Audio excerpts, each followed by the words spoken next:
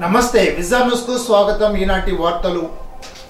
అత్తిల్లో ప్రసిద్ధి చెందిన వల్లి దేవసేన సమేత సుబ్రహ్మణ్య స్వామివారి కళ్యాణం అంగరంగ వైభవంగా నిర్వహించారు. అత్తిలికి చెందిన కురెల సత్యనారాయణ దంపతులు కళ్యాణం జరిపారు.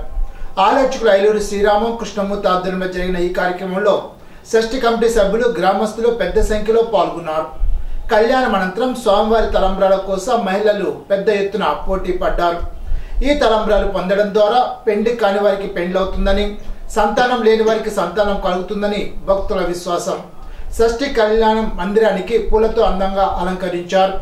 తొలుత స్వామివారిని మేళతాళాలతో గ్రామోత్సవం నిర్వహించారు.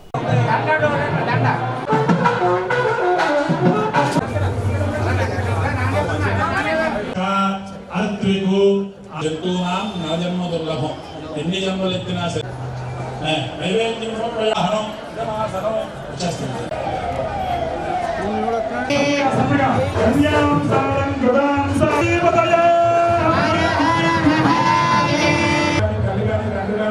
ఎటువంటి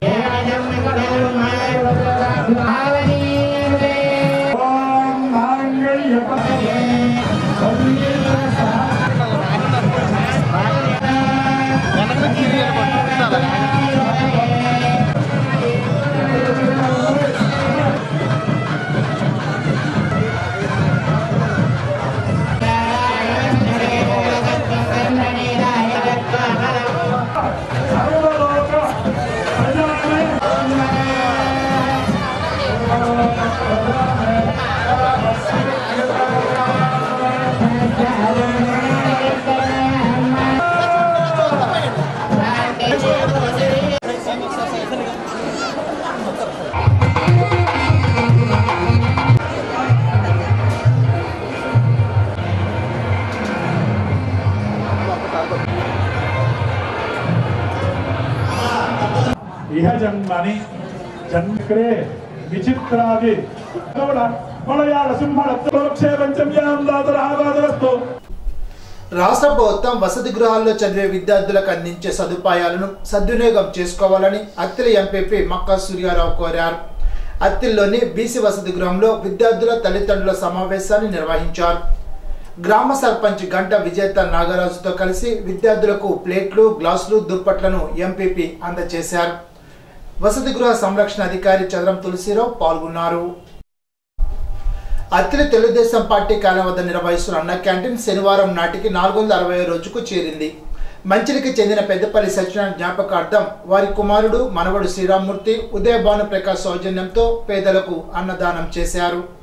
కార్యక్రమంలో టీడీపీ నాయకులు ఆనాల ఆదినారాయణ పులిశెట్టి చంటి అల్తి సత్యనారాయణ పులిశెట్టి రంగారావు దాసరి నాగరాజు బోడపాటి సూర్యచంద్రరావు కురిపల్లి హరి తదితరులు పాల్గొన్నారు.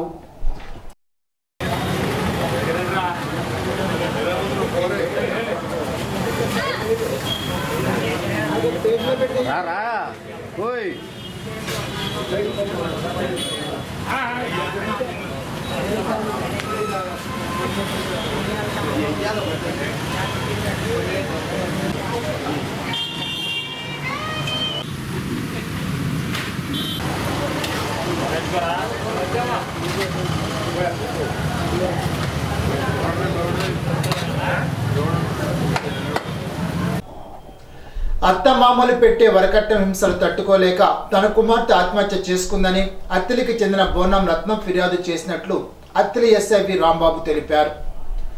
ఆయన తెలిపిన వివరాల ప్రకారం అత్తిలికి చెందిన బోనం నాగేశ్వర కుమార్తె పోసిన బేబీ నాగలక్ష్మి వంటిపై కిరోసిన్ పోసుకొని ఆత్మహత్య చేసుకుందని తెలిపారు. నాగలక్ష్మికి తూర్పుగోదావరి జిల్లా కిర్లంపూడి మండలం పాలెం గ్రామానికి చెందిన పోసిన రాజాతో రెండు వేల ఇరవై రెండు జూన్ పంతొమ్మిదిన వివాహం జరిగిందని తెలిపారు. కట్నంగా రెండు లక్షల యాభై వేలు ఐదు కాసుల బంగారం ఇతర లంచనాలతో పాటు యాభై వేలు ఆడబడుచు కట్నంగా ఇచ్చారని అన్నారు. ఆరు నెలలు నాగలక్ష్మిని బాగా చూసుకున్నారని తెలిపారు. రాజా అక్రమ సంబంధం పెట్టుకొని డబ్బు బంగారం దుర్వినియోగం చేశాడని తెలిపారు. యాభై వేలు అదనపు కట్టం తేవాలంటూ భర్త తదితరులు శారీరకంగానూ మానసికంగానూ హింసిస్తున్నారని తెలిపారు. బాధలు తట్టుకోలేక నాగలక్ష్మి ఆరు నెలలు పుట్టింటికి వచ్చిందని తెలిపారు. పెద్ద మనుషుల ఒప్పందంతో డిసెంబర్ ఇరవై మూడున కాపురానికి తీసుకువెళ్తామని పెద్ద మనుషులు చెప్పి వెళ్ళిపోయారని అన్నారు. పదిహేను రాత్రి రాజా ఫోన్ చేసి అదనపు కట్నం తెస్తేనే గాని తీసుకువెళ్ళని బెదిరించాడని తెలిపారు. దీంతో మనస్తాపానికి చెందిన నాగలక్ష్మి పదహారున బాత్రూంలో ఒంటిపై కిరోసిన్ పోసుకొని ఆత్మహత్యకు ప్రయత్నించిందని అన్నారు. అంబులెన్స్లో ఆసుపత్రికి తరలిస్తుండగా మార్గ మధ్యంలో మృతి చెందినట్లు ఎస్ఐ రాంబాబు తెలిపారు. మృతురాలి తల్లి రత్నం ఇచ్చిన ఫిర్యాదు మేరకు భర్త రాజాపై కేసు నమోదు చేసి దర్యాప్తు చేస్తున్నట్లు తెలిపారు. విద్యారంగానికి గొడ్డలి పెట్టుగా ఉన్న జీవో నెంబర్ నూట పదిహేను రద్దు చేయాలని ఏపీటీఎఫ్ రాష్ట్ర పూర్వ కార్యదర్శి ఐ రాజగోపాల్ కోరారు. తణుకులో జరిగిన సంఘ సమావేశంలో ఖాళీగా ఉన్న నలభై వేల ఉపాధ్యాయ పోస్టును భర్తీ చేయాలని జూలై నుండి మధ్యంతర భృతిని ప్రకటించాలని బకాయి పడిన మొత్తాలను వెంటనే చెల్లించాలని కోరారు. ఏపీటీఎఫ్ జిల్లా ఉపాధ్యక్షుడు ఏ వీరభద్రరావు కార్యదర్శి వి రామమోహన్ తణుకు శాఖ ప్రధాన కార్యదర్శి ఎన్ జయరాజు తదితరులు పాల్గొన్నారు.